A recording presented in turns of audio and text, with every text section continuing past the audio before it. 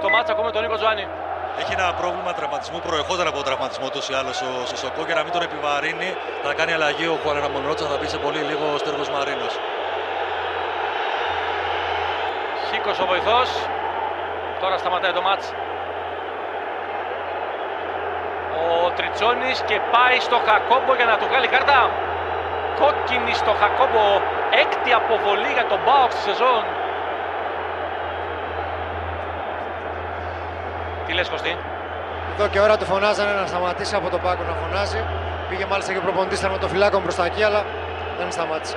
Ωου, τι κάνει τώρα ο Χακόμπο; Προσπαθεί ο, Κατσικ... ο Σταφυλίδης να τον συγκρατήσει. Πού θέλει να πάει ο Χακόμπο και τι θέλει να κάνει; Είναι εκτός σε αυτού ο δραματοφύλακας του ΠΑΟΚ. Εκτός σε αυτού. Έκτη αποβολή, δύο ο Λόρενς, μία ο Κατσικάς, ο Γλίκος, ο Λάζαρ και τώρα ο Χακόμπο